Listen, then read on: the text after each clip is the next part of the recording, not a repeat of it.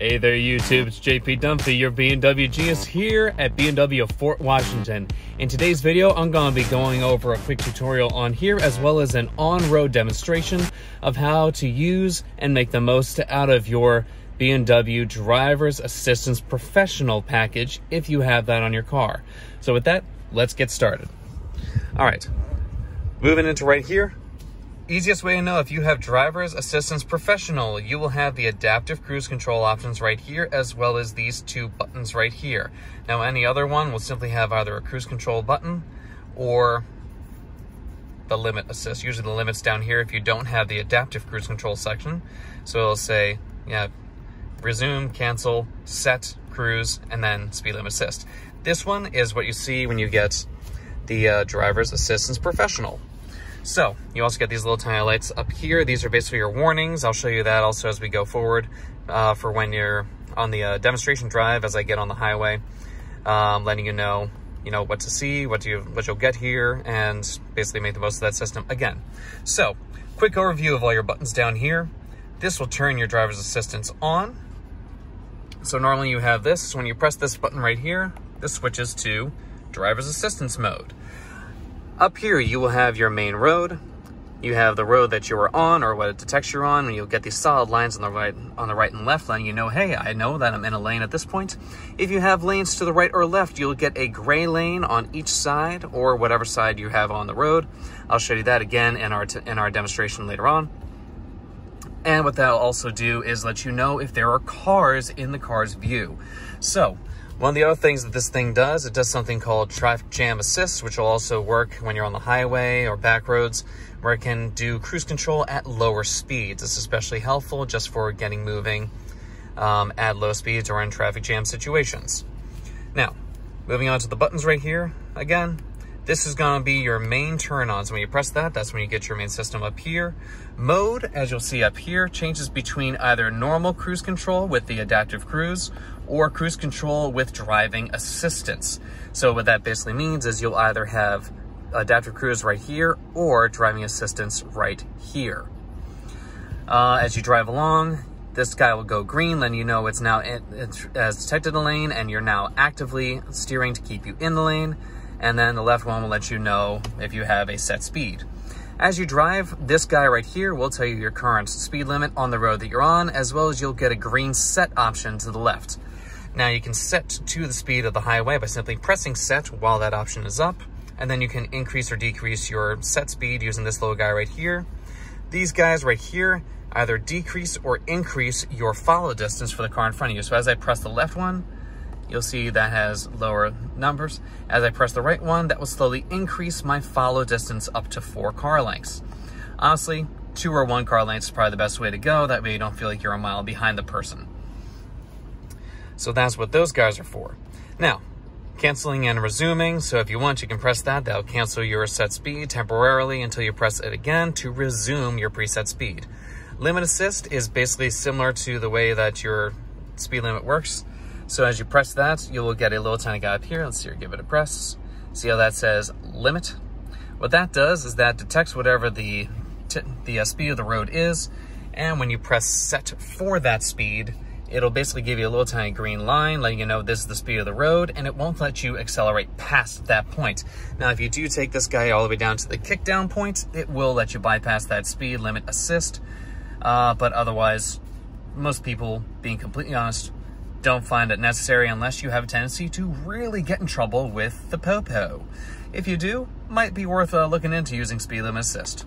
Otherwise, normal driving assistance is what you'll be looking at.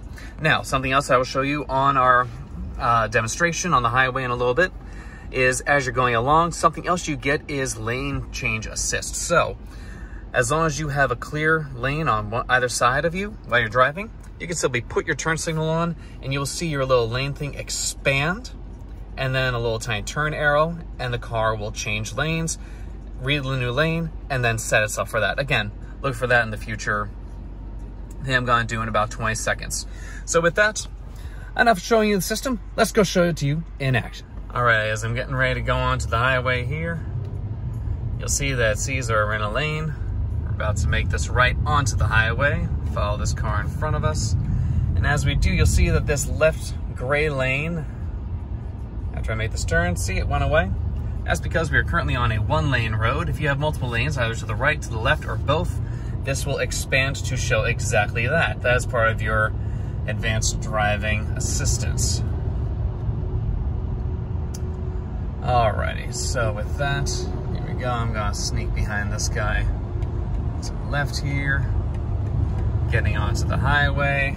See our speed is gonna change in a couple seconds from 35 to highway speed. There we go, 55. Down here, now I press set and activate driver assistance by giving this a press. And we're going to switch over to steering assistance as well. Now something I do want to show is as you're driving along, everything is green right now, but if you start to edge toward that side lane right there, come on, try and do it on purpose. God, driver assistance really doesn't want me to do it. All right, so anyway, driving down the highway, you'll see that it actually can detect the difference knowing that it's a truck in front of us versus a car as that car is driving there. I'm going to readjust our distance to make it shorter. Going to increase our speed a little bit since everyone's going a little faster than preset speed limit. So, speed is up here on the left-hand side by a green line. Posted speed limit's always going to be right below, right there.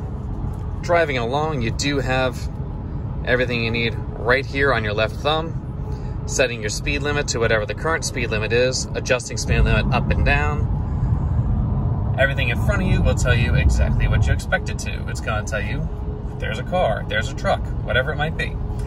The little green lights to the left here let you know that it's, oh, see, currently warning me to touch the steering wheel. Touch, goes away. The one to the left, that is your steering assist. If that is not, if you do not see that, and if I press this mode button, you'll see that goes away and lets you know you are in control of the steering. Press it again, you'll see it come back up, reads the cent reads the lines, says, are you in the lines? Are we good? Three, two, there it is. And just like that, now it's taken over steering. Now again, this is not for pure driving assistance, all it is. Putting on my turn signal, you saw there's that little tiny line right there. It does the lane change for you, detecting whether or not there are cars around you to make it easier and more effective lane change.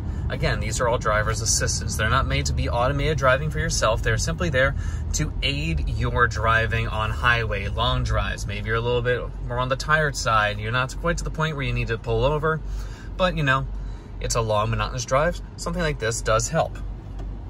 So again, as you drive, this is your driver's assist. Green light, sorry. That is your driver's assistance. We're gonna get back on the highway here. Turn, turn, turn. All right, here we go. All right, let's get back up to speed.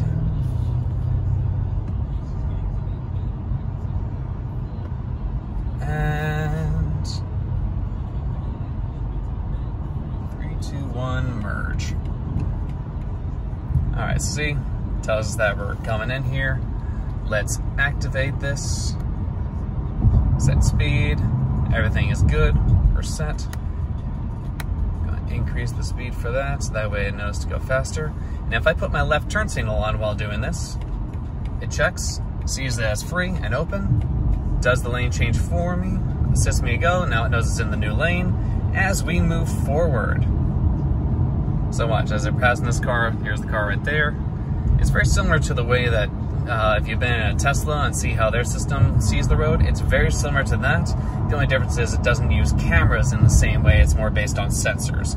So that is the one limitation for this one versus, say, Tesla Autopilot. But again, like Tesla Autopilot, here, let's put our right turn signal back on. It checks, no one's there, pulls me over in the lane, recenters itself. So that is how your driver's assistance professional works. And there's that car. Sees that it's not in the lane over there, in the lane in front of us. Hello. As it drives up. So that is exactly how this guy works. And again, you can change your follow distance by using these little toggles on the left-hand side right here, setting your speed to whatever the current speed limit is. So see how there's a green set right next to it? Let's see if I can block that. There you go. Little green set next to the speed limit. That's basically what that is for. So now third lane is opened up to the right. We're going into that since we're hopping off the highway here. And again, this will always tell you lanes to the right and left. It can't see any further to the left. I know, touch the uneven surface ahead. So by the way, that's a new that's a new sensor. There we go. There's the uneven surface. As we passed over that, 600 feet, we have more, 400 feet. And where is it? There you are. There's the uneven surface. Hello, sir. Thank you for the warning. We stay in our left lane here. I'm gonna take this off cruise control in just a second, just because we are coming to the end of this section. So we do that, this car there, touch the brake, hop off the highway. So with that, that is your driver's assistance professional package and how it works, how to make the most of it, and how to make the sense of the lights that you have on your steering wheel itself. Any questions, always feel free to reach out and we will happily help you out with any questions that you have. If you like this video, found it helpful in any way, shape, or form, please like, comment, share, and subscribe to the videos. If you have any other questions moving forward, feel free to reach out. We are here for you. Thanks so much for being with us. Have a great day.